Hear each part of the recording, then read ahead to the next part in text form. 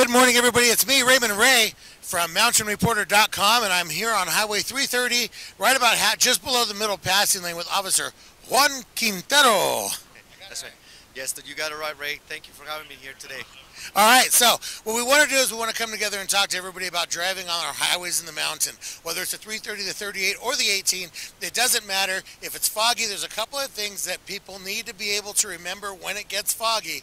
And I know that when the fog hits and you're concentrating on where you're going, it might be hard to remember, but we really want to be able to get this as a standard procedure for everybody on the mountain. Number one, what do you think would be the number one thing that needs to happen as soon as a driver encounters thick fog, kind of like where we're at right now? Um, right now, I think there's a misconception that if you just keep your dial for the headlights on auto, it's automatically going to come on, and that is not necessarily the case. If you're one of those individuals who just thinks that by keeping it there, you're you're you're covered, you're not. Um, you got to consider that ambient light might be enough to not trigger that sensor. Therefore, we urge you to manually turn your dial to the on position so that you're driving with your headlights on. That's right. And we've seen over the last two or three days um, that there's been quite a few accidents, mostly predominantly on the 18, but there was an accident on the 330 and there was actually one over on the 38 as well. Um, what do you think is probably the number one way drivers can avoid accidents when it gets foggy like this? Yeah, uh, it's very important that once you know that there's inclement weather, being fog, rain, snow, give yourself extra time for your commute. Don't expect to get there at the same time or in the same amount of time than when weather is normal. Uh, you know, uh, the roads, believe it or not, could get slippery just with the with the fog, and therefore um, we get people spinning out, hitting the guardrail, hitting, the, going head on, or uh, hitting the hillside. So give yourself extra time so you're not rushing through inclement weather. Right, and you can always go to mountainreporter.com. Every morning, K-Dog posts a road report, and he drives down from Crestline. If you look at the 330 and the 18, generally the altitudes and the levels of fog are going to be the same.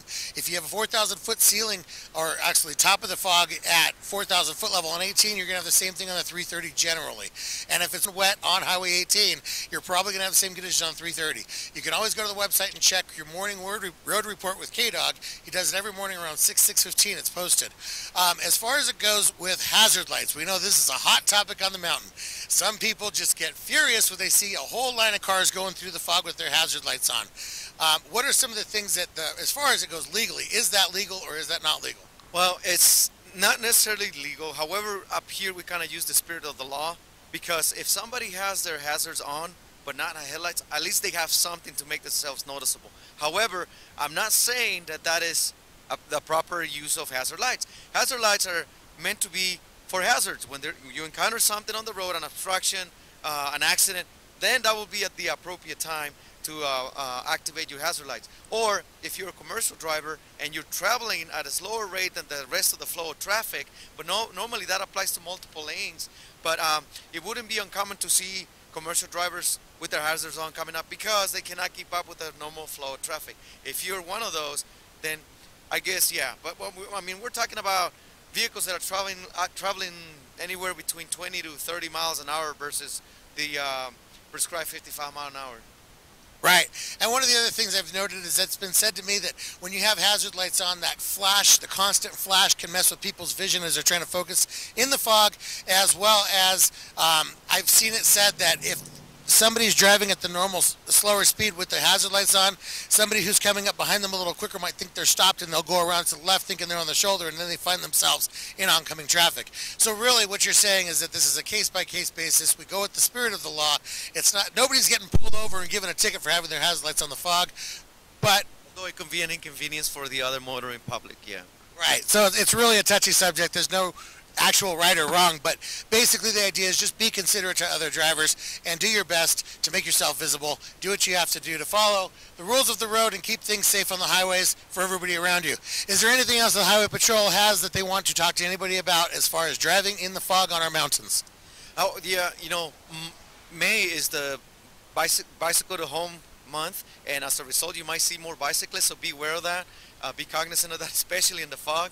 Um, down the hill is not as foggy or once you get past uh, the 4,500 foot level. So a lot of bikers might be out there thinking that, that you know, it, it's an okay day to ride. So just be extra careful. the um, not just the entire month of May, but you know all the time. You know. And that's something we see on the mountain a lot. It's sunny, 75 degrees in Lake Arrowhead, anywhere on the northern side of the rim. And then as soon as you cross over, all of a sudden, it is foggy and cold. And what you're saying is that those bicyclists might be leaving the mountain thinking it's a sunny day and find themselves in that socked in fog and not very visible to other drivers. Right, that is correct. And then also, uh, this our, our San Bernardino Mountains is, is the preferred destination for a, a lot of my, motorcyclists. So, you know, uh, be cognizant of that as well. I mean, it, I, I mean, it, it's, it's part of being a mountain resident. You have to keep up with the bad to enjoy the good, you know. So it comes with a, a little bit of responsibility on your part, commuters. Copy that. All right, thank you very much, Juan, for meeting us here on Highway 330. It's Ray with MountainReporter.com, and we'll talk to you guys later.